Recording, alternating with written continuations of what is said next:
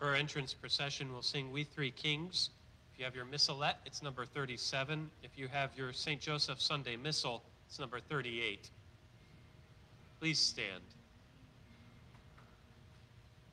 We three kings of Orient are, bearing gifts we traversed afar. Field and fountain, moor and mountain, following yonder star. O star of wonder, star of night, star with royal beauty bright, westward leading, still proceeding, guide us to thy perfect light. In the name of the Father, and of the Son, and of the Holy Spirit, the grace of our Lord Jesus Christ, and the love of God, and the communion of the Holy Spirit be with you all. As we celebrate this solemnity of the Epiphany, we come to the conclusion of our, um, of our well, we're not at the conclusion of Christmas, but uh, we come to the conclusion of these solemn times of Christmas. We celebrate the fact that all people are called to come and worship our God. And how privileged, how blessed we are to know precisely where and how we can come to worship Him. It's at this altar where we offer Him the greatest sacrifice, which is God Himself, Jesus offering on the cross. And so, brethren, let us acknowledge our sins and so prepare ourselves to celebrate the sacred mysteries.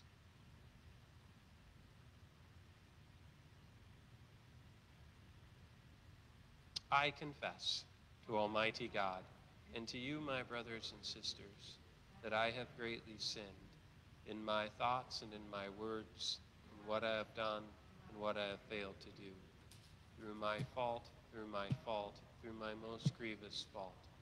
Therefore I ask, Blessed Mary, ever Virgin, all the angels and saints, and you, my brothers and sisters, to pray for me to the Lord our God. May Almighty God have mercy on us, forgive us our sins, and bring us to everlasting life.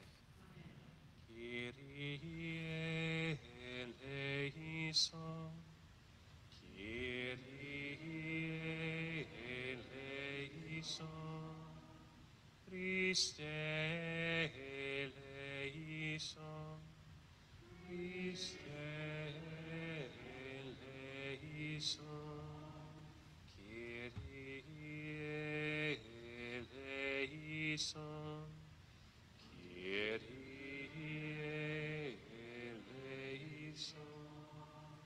Glory to God in the highest, and on earth peace to people of good will.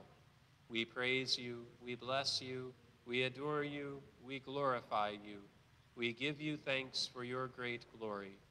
Lord God, heavenly King, O God, Almighty Father, Lord Jesus Christ, only begotten Son, Lord God, Lamb of God, Son of the Father, you take away the sins of the world. Have mercy on us. You take away the sins of the world. Receive our prayer. You are seated at the right hand of the Father. Have mercy on us. For you alone are the Holy One. You alone are the Lord. You alone are the Most High, Jesus Christ, with the Holy Spirit, in the glory of God the Father. Amen. Let us pray. May the splendor of your majesty, O Lord, we pray, shed its light upon our hearts, that we may pass through the shadows of this world and reach the brightness of our eternal home. Through our Lord Jesus Christ, your Son, who lives and reigns with you in the unity of the Holy Spirit, one God forever and ever.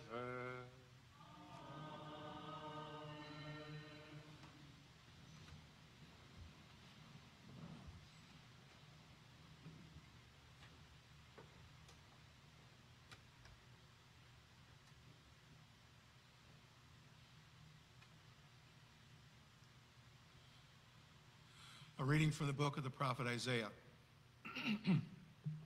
Rise up in splendor, Jerusalem. Your light has come. The glory of the Lord shines upon you. See, darkness covers the earth, and thick clouds cover the peoples. But upon you the Lord shines, and over you appears his glory. Nations shall walk by your light, and kings by your shining radiance. Raise your eyes and look about. They all gather and come to you. Your sons come from afar, and your daughters in the arms of their nurses.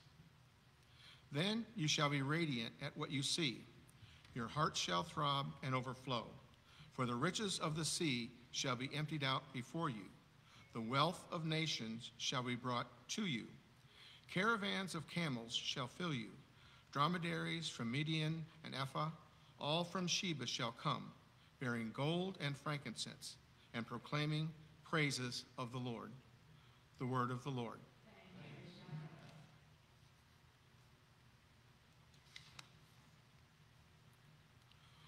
Lord, every nation on earth will adore you.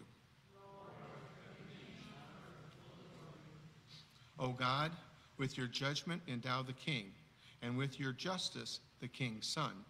He shall govern your people with justice, and your afflicted ones with judgment. Will adore you. Justice shall flower in his days, and profound peace, till the moon be no more. May he rule from sea to sea, and from the river to the ends of the earth. The kings of Tarshish and the isles shall offer gifts. The kings of Arabia and Seba shall bring tribute. All kings pay homage to him. All nations shall serve him. Shall adore you. For he shall rescue the poor when he cries out, and the afflicted when he has no one to help him. He shall have pity for the lowly and the poor. The lives of the poor he shall save.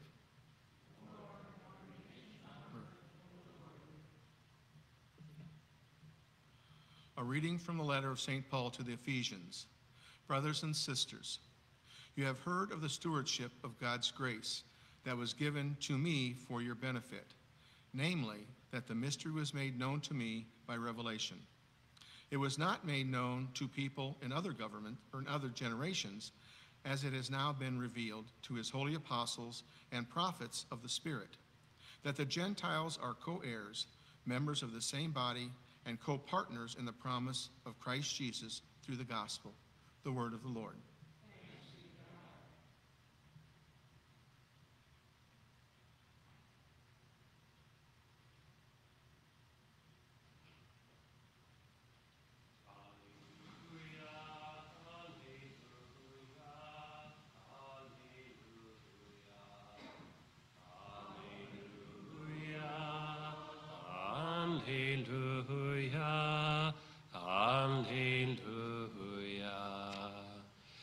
Saw his star at its rising and have come to do him homage. Alleluia, Alleluia, Alleluia. The Lord be with you. A reading from the Holy Gospel according to Matthew. When Jesus was born in Bethlehem of Judea, in the days of King Herod, behold, Magi from the east arrived in Jerusalem, saying, Where is the newborn King of the Jews? We saw his star at its rising, and have come to do him homage. When King Herod heard this, he was greatly troubled, and all Jerusalem with him. Assembling all the chief priests and the scribes of the people, he inquired of them where the Christ was to be born. They said to him, In Bethlehem of Judea, for thus it has been written through the prophet, And you, Bethlehem, land of Judah, are by no means least among the rulers of Judah, since from you shall come a ruler who is to shepherd my people Israel. Then Herod called the Magi secretly and ascertained from them the time of the star's appearance. He sent them to Bethlehem and said, Go and search diligently for the child. When you have found him, bring me word that I too may go and do him homage. After their audience with the king, they set out. And behold, the star that they had seen at its rising preceded them until it came and stopped over the place where the child was. They were overjoyed at seeing the star, and on entering the house, they saw the child with Mary, his mother. They prostrated themselves and did him homage. Then they opened their treasures and offered him gifts of gold, frankincense, and myrrh. And having been warned in a dream not to return to Herod, they departed for their country by another way. The Gospel of the Lord.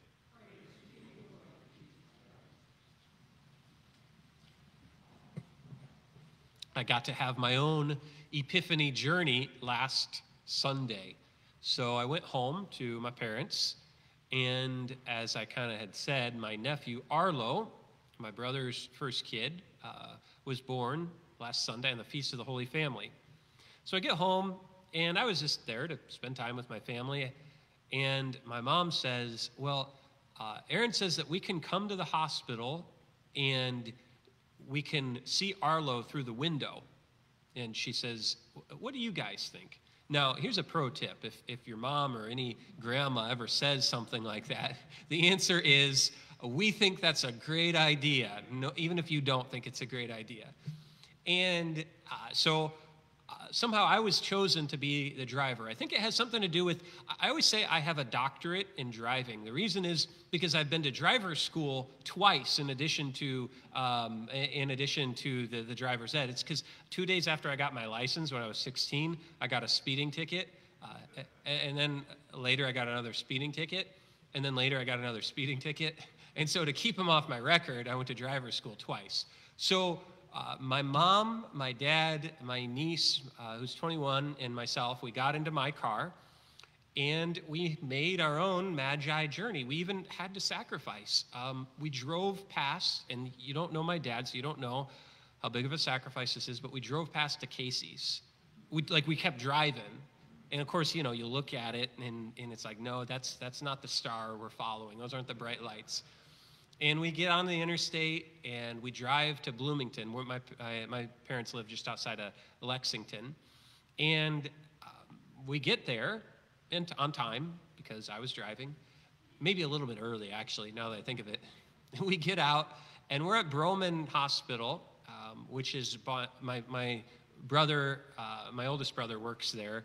Uh, it was bought out by Carle, and so they call it Carl's Jr. now. But uh, anyway, they, we get there and we get out, and the, you know the, the, the parking lot is like recessed, and so even though they're on the first floor, it's a little bit a ways up, and we're standing there in the parking lot, and it was windy and cold, and we're waiting and waiting, and of course it's like you know the, the, these this poor couple just had a baby, so we're not gonna like you know pretend like we're impatient, but it's like we want to see this baby through the window. And of course, some of us, excluding my mom, want to see the baby and then get back in the car.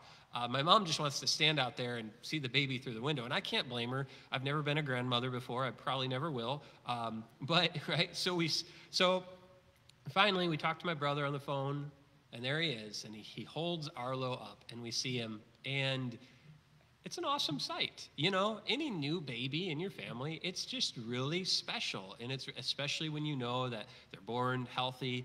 Uh, my sister-in-law was was she was doing fine, um, and so you know that that everybody is safe, and, it, and it's it's a great experience. And so that for me, gave me a little bit of a deeper reflection. You know, for the Magi, this long journey that they went on, following this star, discerning, looking at the sky. And of course, they didn't know. They didn't know what they would encounter. They didn't know where they would find him. They thought, of course, he's going to be in Jerusalem, so they head to Jerusalem. And Herod is surprised. He doesn't know his scriptures as well as he should, so he's got to talk to the, the scripture scholars and say, okay, where, where is this baby going to be born? And so they go to Bethlehem and they find him. Now, when these magi encounter King Herod, they're respectful, they're kind, they treat him like a king, but they don't worship him. But when these magi get to the child, they fall down and prostrate.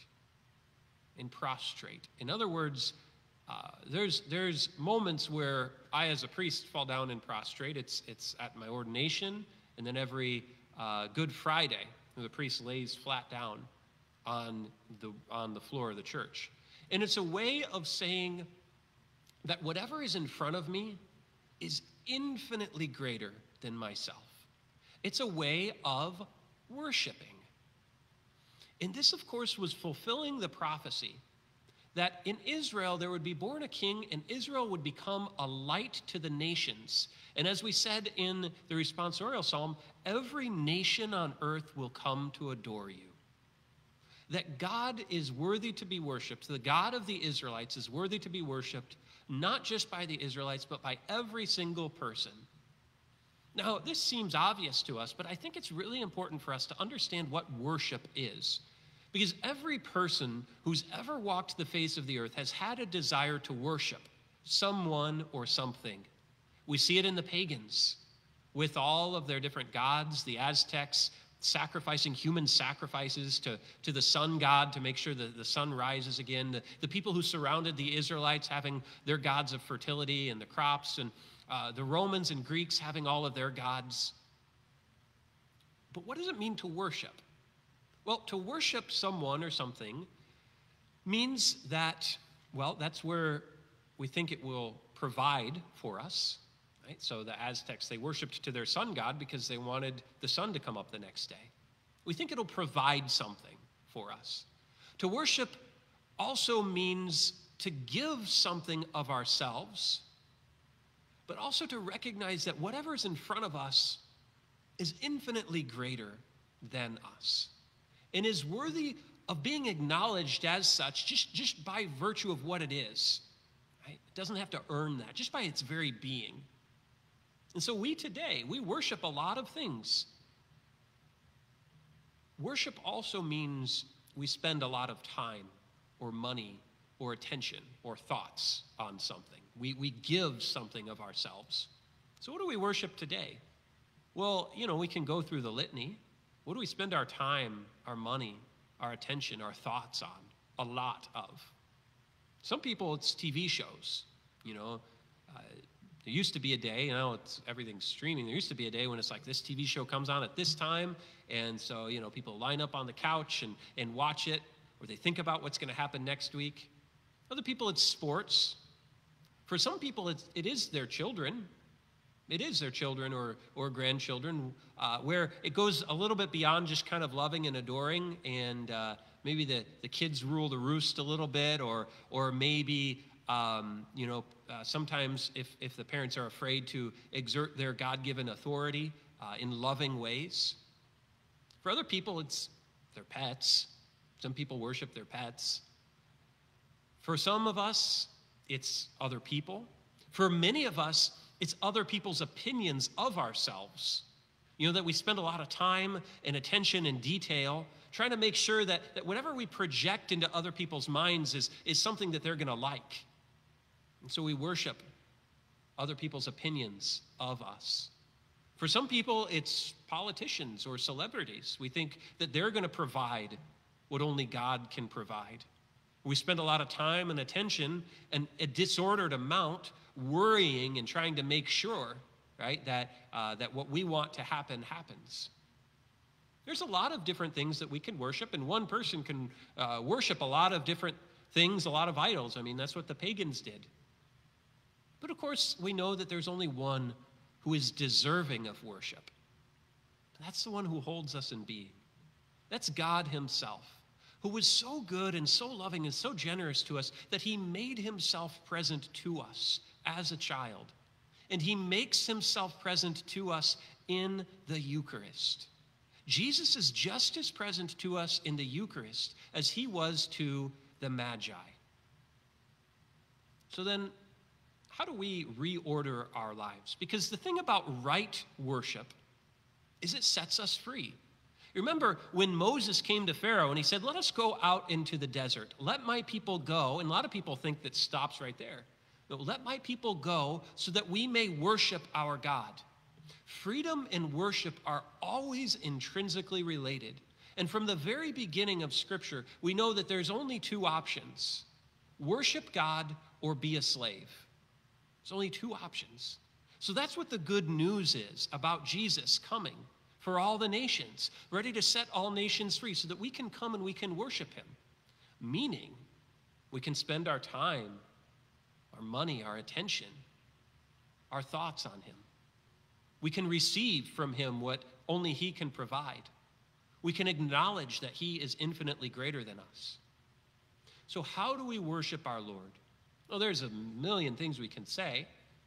There's a few small things that I think a lot of times we forget about, but we do. You know, when you genuflect, that's an act of prostration. Maybe you're not laying flat down on the on the on the floor. Please don't do that. Uh, but at least before mass. Uh, but maybe we genuflect. We make the sign of the cross. We simply look at our Lord.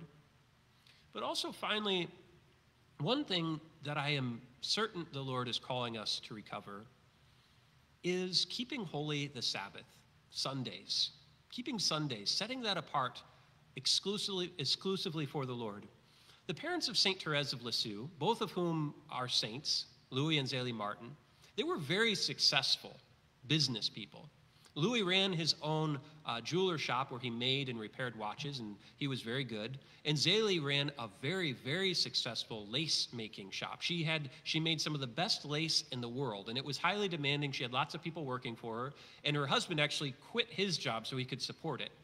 Now it was very demanding, and they had lots of kids, and, and they also practiced their faith.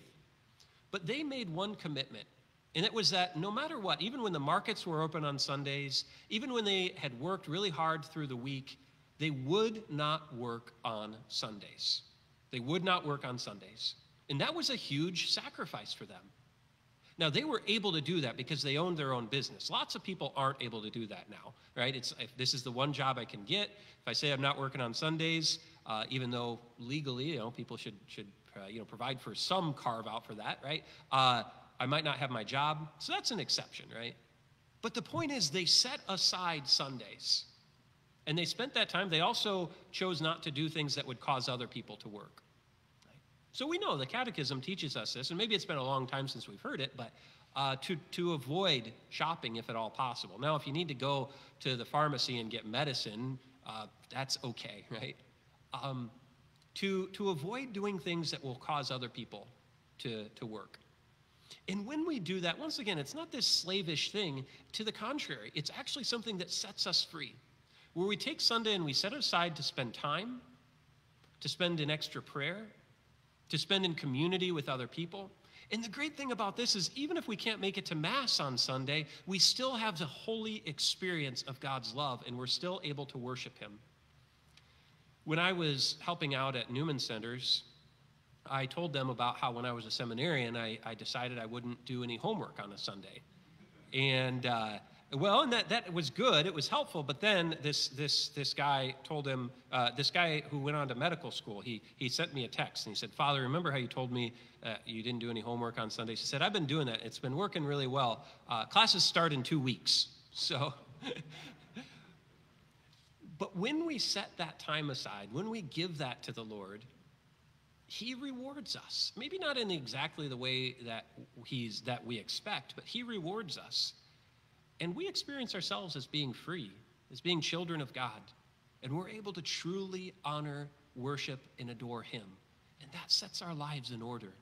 And that becomes the preview, the taste of the life to come that the Magi got a, a, a taste of, an experience of, that Mary and Joseph had a taste of, an experience of and that is our life in heaven, where we will praise and adore and love our God forever.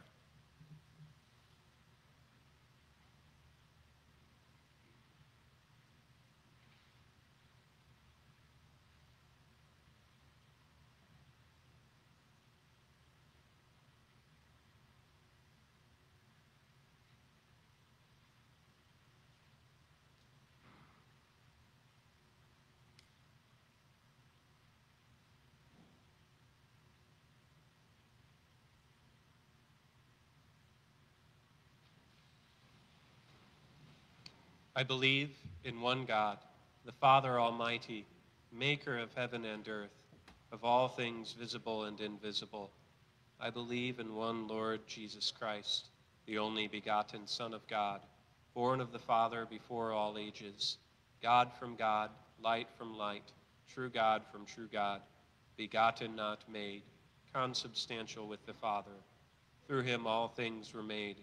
For us men and for our salvation, he came down from heaven, and by the Holy Spirit was incarnate of the Virgin Mary and became man.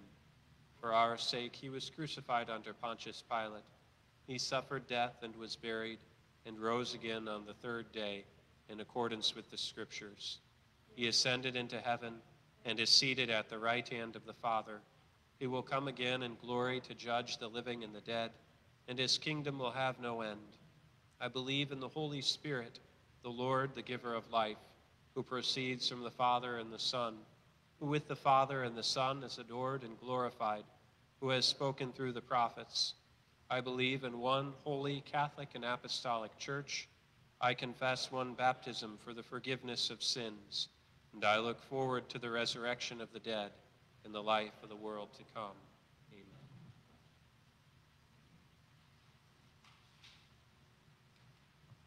Turning to our Heavenly Father, who provides for all of our needs, we offer these prayers and petitions. For the church, may we continue to proclaim to the world that Jesus is its true light and way to salvation. We pray to the Lord. For our world leaders, may they lay aside their differences and focus on peace and justice for all people. We pray to the Lord. May we, like the Magi who offered gifts to Jesus, give him the gift of our service. We pray to the Lord for those who suffer in mind, body, or soul, that they may know the love of Jesus through the tender care of others. We pray to the Lord. For a respect for life, may we defend and protect the weakest among us, especially the unborn. We pray to the Lord. Let us pray for Barb Strunk, for whom this Mass is being offered, and all those who have died. May they experience the light of God's glory. We pray to the Lord. Now let us pause and offer from our hearts our own personal intentions. For these special needs, we pray to the Lord. We pray the prayer to St. Michael for the freedom and purification of the Catholic Church. St. Michael the Archangel.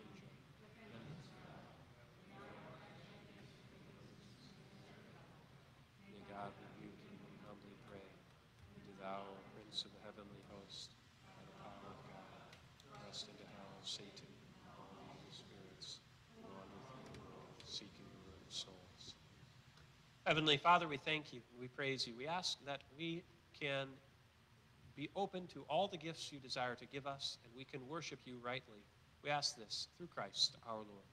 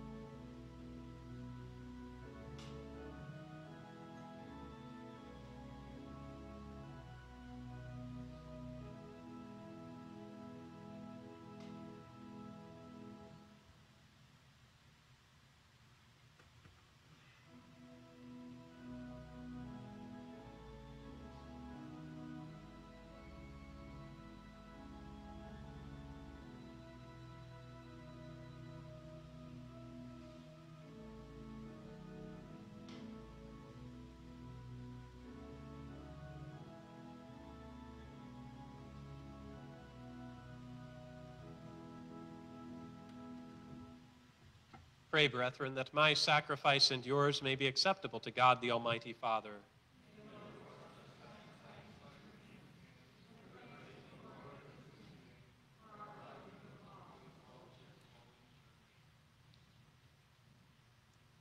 Accept, we pray, O Lord, our offerings in honor of the appearing of your only begotten Son and the first fruits of the nations, that to you praise may be rendered and eternal salvation be ours. Through Christ our Lord. The Lord be with you. Lift up your hearts. Let us give thanks to the Lord our God. It is truly right and just, our duty and our salvation, always and everywhere, to give you thanks, Lord, Holy Father, Almighty and eternal God. For today you have revealed the mystery of our salvation in Christ as a light for the nations. And when he appeared in our mortal nature, you made us new by the glory of his immortal nature. And so, with angels and archangels, with thrones and dominions, and with all the hosts and powers of heaven, we sing the hymn of your glory, as without end we acclaim. Holy, holy, holy, Lord God of hosts, heaven and earth are full of your glory. Hosanna in the highest. Blessed is he who comes in the name of the Lord. Hosanna in the highest.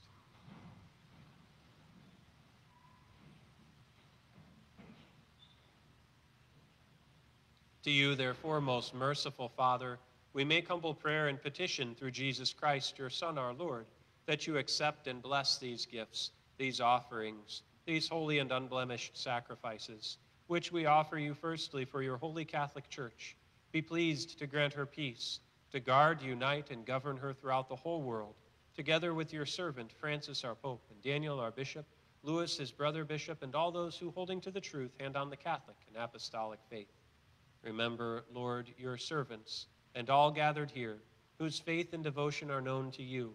For them we offer you this sacrifice of praise. Or they offer it for themselves and all who are dear to them, for the redemption of their souls, in hope of health and well being, and paying their homage to you, the eternal God, living and true, celebrating the most sacred day on which your only begotten Son, eternal with you in your glory, appeared in a human body, truly sharing our flesh and in communion with those whose memory we venerate, especially the glorious ever Virgin Mary, Mother of our God and Lord Jesus Christ, and blessed Joseph, her spouse, your blessed apostles and martyrs, Peter and Paul, Andrew, James, John, Thomas, James, Philip, Bartholomew, Matthew, Simon and Jude, Linus, Cletus, Clement, Sixtus, Cornelius, Cyprian, Lawrence, Chrysogonus, John and Paul, Cosmas and Damian, and all your saints.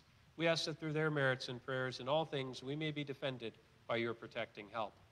Therefore, Lord, we pray, graciously accept this oblation of our service, that of your whole family.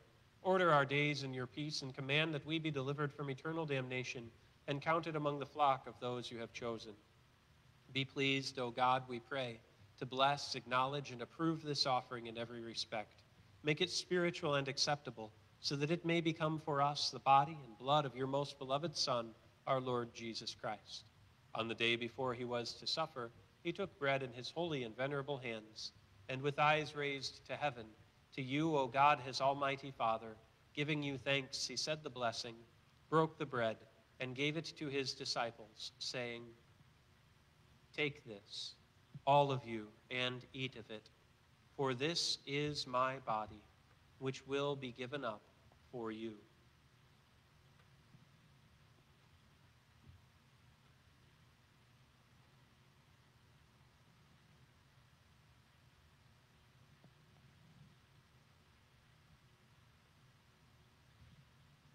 In a similar way, when supper was ended, he took this precious chalice in his holy and venerable hands, and once more giving you thanks, he said the blessing and gave the chalice to his disciples, saying, Take this, all of you, and drink from it, for this is the chalice of my blood, the blood of the new and eternal covenant, which will be poured out for you and for many for the forgiveness of sins. Do this in memory of me.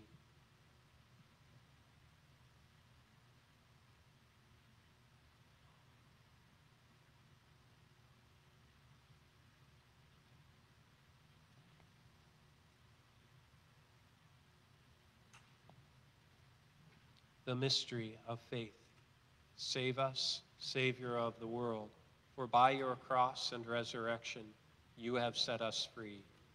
Therefore, O Lord, as we celebrate the memorial of the blessed Passion, the resurrection from the dead, and the glorious ascension into heaven of Christ, your Son, our Lord, we, your servants and your holy people, offer to your glorious majesty, from the gifts that you have given us, this pure victim, this holy victim, this spotless victim, the holy bread of eternal life, and the chalice of everlasting salvation.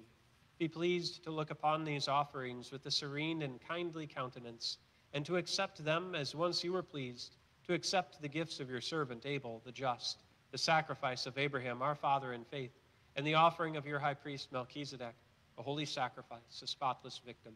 In humble prayer, we ask you, Almighty God, command that these gifts be borne by the hands of your holy angel to your altar on high, in the sight of your divine majesty, so that all of us who through this participation at the altar receive the most holy body and, and blood of your Son may be filled with every grace and heavenly blessing.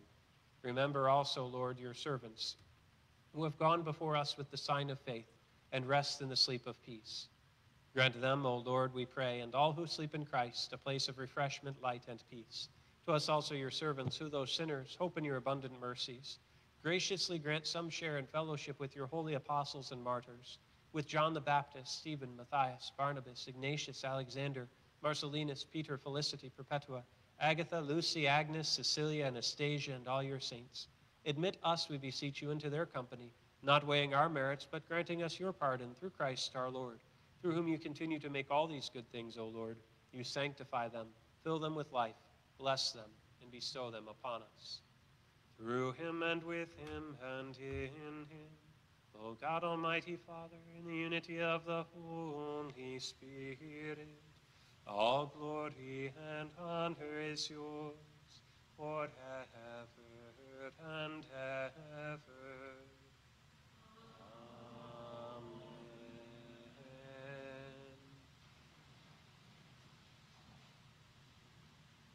At the Savior's command and formed by divine teaching, we dare to say, Our Father, who art in heaven, hallowed be thy name. Thy kingdom come, thy will be done, on earth as it is in heaven. Give us this day our daily bread, and forgive us our trespasses, as we forgive those who trespass against us. And lead us not into temptation, but deliver us from evil. Deliver us, Lord, we pray, from every evil. Graciously grant peace in our days, that by the help of your mercy we may be always free from sin and safe from all distress, as we await the blessed hope and the coming of our Savior, Jesus Christ.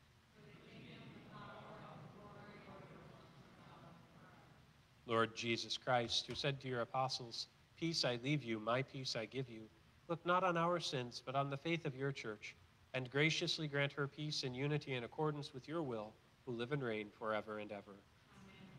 The peace of the Lord be with you always. Lamb of God.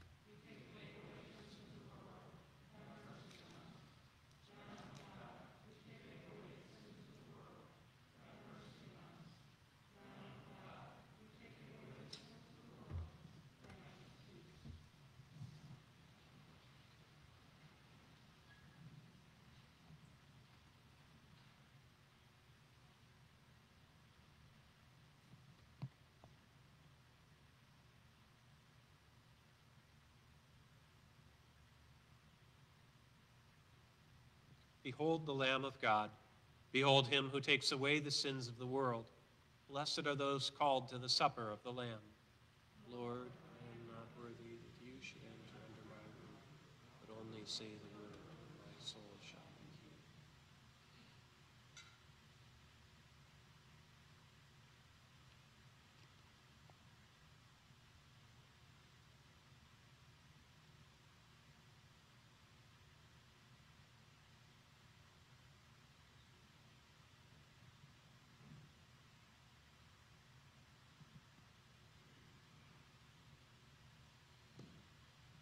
The brightness of God illumined the holy city, Jerusalem, and the nations will walk by its light.